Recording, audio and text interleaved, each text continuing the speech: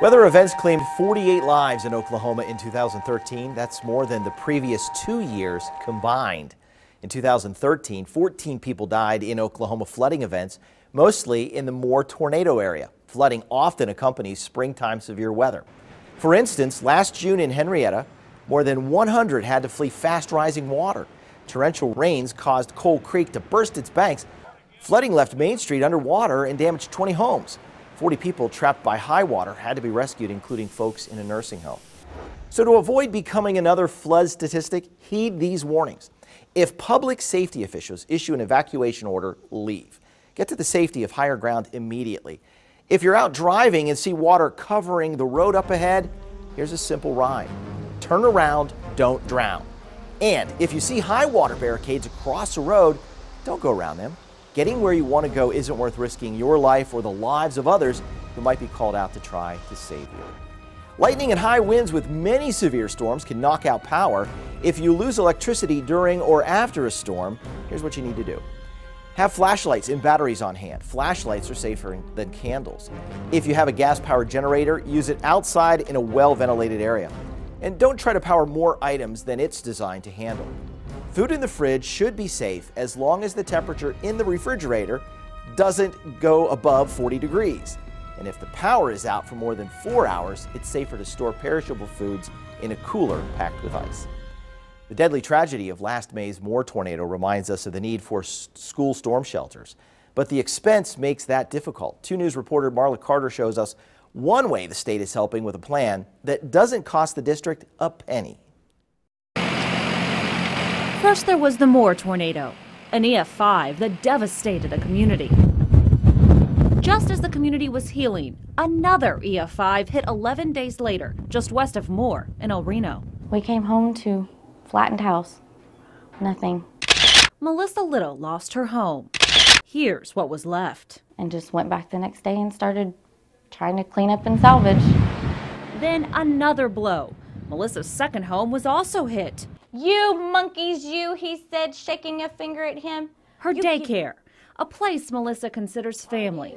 The child care facility is part of the El Reno School District. We had a large basketball, ball, volleyball size hell come through one of our walls. Caps for sale, 50 cents a cap. The good news? We closed for the summer, so we did not have any children here.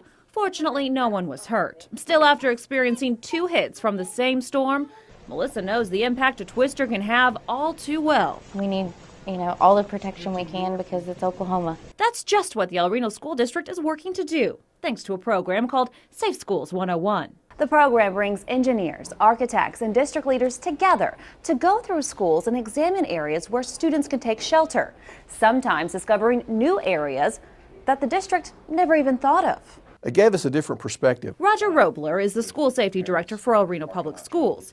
He toured district buildings with those experts. And really look at, okay, if we were to have a 250 mile an hour wind event, what would happen to this building?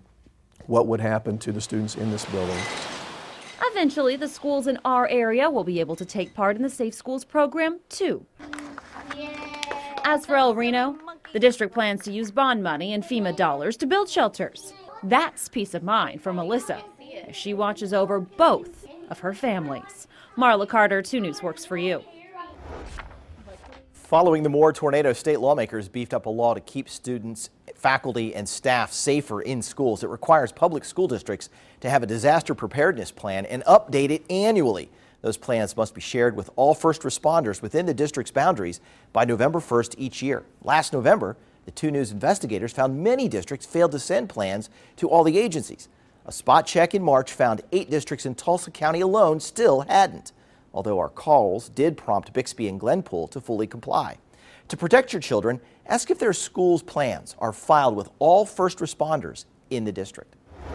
One thing that often strikes during severe weather outbreaks, it's lightning. In 2012, one Oklahoman was killed by lightning. When you're outside and hear thunder or see lightning, avoid high places and open fields. Isolated trees, open sided picnic shelters, baseball dugouts, light poles, and metal fences. Also, avoid convertible cars, golf carts, and water like pools, lakes, or rivers.